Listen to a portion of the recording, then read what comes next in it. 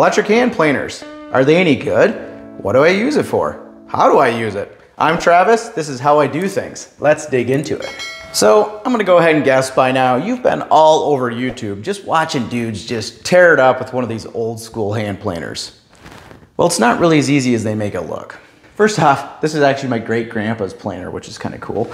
And mine's not nearly as sharp as what you've seen in some of those videos. It's important to know that unless you have a razor sharp blade in this thing that can basically shave the hair off your arm, you're not gonna get the same results that you've been seeing all over YouTube. Some might even say it takes just as much skill to sharpen one of these as it does to actually use one. So if you're newer to woodworking or you just don't want to take the time to master an old school hand planer like that, an electric hand planer might be what you're looking for. Who makes electric hand planers and how much do they cost? Most of your major manufacturers that you'll find at your local big box store will carry electric hand planers and you can typically find one between 80 and $180. My planer is made by Makita and I put an Amazon link in the video description. By the way, when you buy something through one of my Amazon links, you help support my channel so I can keep making cool videos like this. Now let's talk about some of the basic parts of an electric hand planer. If we flip this thing over, the first thing we'll see is this movable front shoe. If we turn this dial right here, we can adjust the depth of cut. Turning it clockwise will take more material off. Turning it counterclockwise will take less material off. You may also notice that the front shoe has a V-groove cut into it. That's to make quick chamfer cuts, and I'll demonstrate that later.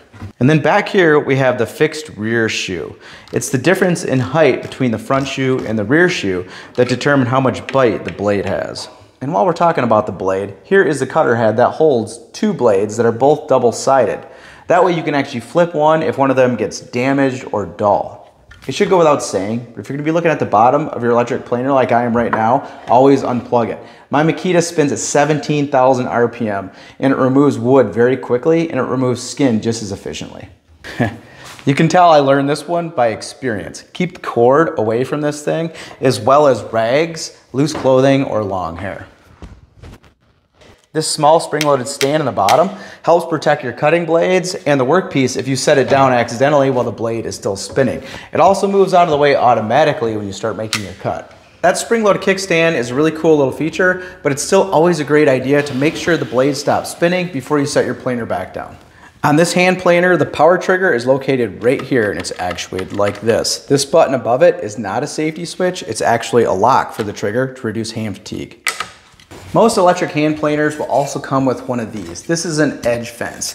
On this unit, the edge fence just slides into this hole and can be tightened down with this adjustment knob. This fence is fantastic for when you're trying to stabilize a cut on a narrow board. This edge fence can also be used to make long rabbet cuts. And these little holes right here are so you can attach a board to it for even more stability. But how do I use an electric hand planer? I think this place is haunted. Before you get started, it's always a good idea to check your blades and make sure they're aligned properly. If they're not, it is possible for one side to cut a little lower than the other. To change or adjust the blades in my Makita, I first grab this included wrench and remove these bolts. Then remove the drum cover, set plate, and blade. Be careful because the blades are very sharp. Once you have everything out, this is a good time to clean all the components. I just use an old toothbrush. If your blade is dull, flip it or grab a new blade and set it in the gauge that came with your planer butt it up against the gauge plate. Now loosen the screws on the set plate. If you look at the back of the set plate, you'll notice features that hold the blade in place.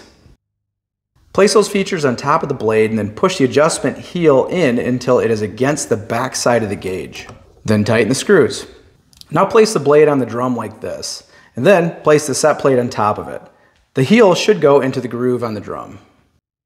Now install the cover and loosely install the three bolts make sure the blade is properly seated in the features on the back of the set plate and that it is centered from side to side. Tighten the three bolts and then manually rotate the drum to make sure the blade clears the housing. Then just repeat on the other blade. Now that our blades are all sharp and adjusted, we're ready to start planing something. First securely clamp your board down and then make sure that the area is clear of any loose clothing or long hair. Be sure to carefully inspect your board for any nails or staples. The planer blades do not like metal. Be sure the entire area underneath the board is clear so you won't trip when you're making your cut. Now hold the tool firmly with one hand on the knob and the other hand on the handle. Start by putting just the front shoe on the workpiece without the blades touching. You should be keeping more pressure on the front of the planer when starting your cut. Then bring the motor to full speed and gently move the planer along the workpiece while trying to maintain a steady pace. You should be using balanced pressure while you're in the middle of your cut. At the end of the workpiece, put pressure on the back of the planer to prevent the nose from diving down. As soon as the blades are through the wood, bring the planer up off the workpiece. When you put all of that together, it should look something like this. You can take quite a bit of material off in a single pass, but if you're looking for smoother cuts, it's best to take small passes and just remove a little wood at a time. If you don't use this method, it's very easy to take a bite or snipe out of the workpiece at the start or end of your cut. Nobody wants that. What can I use a planer for? Where is that coming from? Electric hand planers can be used for a lot of things, including joining two boards together, fixing a sticking door, and removing the bow from a board. To straighten a bowed piece of wood, first mark the location of the highest spot. Then make a short pass where the highest spot is. Then make a longer pass, and then make a full pass. Repeat these steps until the bow is gone. To add a chamfer, all you need to do is put the V on the corner to chamfer and then use the planer normally. Obviously, you need to keep a steady hand, but the neat thing is that you can vary the angles. Sometimes I'll even use my electric hand planer for cleaning up the transitions on a glue up before sanding. Are they any good compared to a manual hand planer? Oh, there it goes again. I sort of consider an electric hand planer and a manual hand planer to be two totally different tools. There are some things that they can both do, but I think it's nice to have both of them in your shop. So yeah, in the end, I would say that electric hand planers do have a purpose and they are good at doing certain things, which I outlined in this video. But you need to be really careful because a powered hand planer can take off a lot of material very quickly. And it's a lot easier to take it off than it is to put it back on. I've seen some other builders out there make some really cool jigs for their electric hand planers. You can make a portable jointer or you can make a jig for flattening large slabs. They sound pretty interesting to me. If they sound cool to you and you'd like to see me try and make one, please leave that in the comments. As always, thank you so much for watching my entire video, guys. I really appreciate it. If you liked it, please hit like and subscribe if you haven't already. Check out one of these other awesome videos over here, but you guys need to get out of here because I made a giant mess and I need to clean this up. I'll see you guys.